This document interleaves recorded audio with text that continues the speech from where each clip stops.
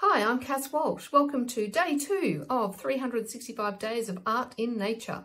How did you all go yesterday? I know I had a lot of fun doing the drawings of leaves. Have you checked out what I did? I've uh, posted my end result in the comments on my post. Would love to get some feedback. So day two.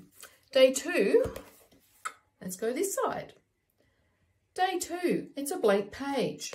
That's because day two is about drawing outside amongst nature.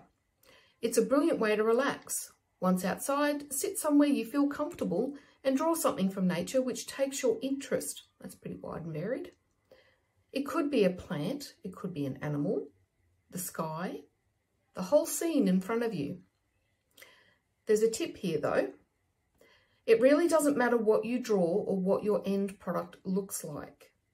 Let go of perfection. I know I have trouble with that.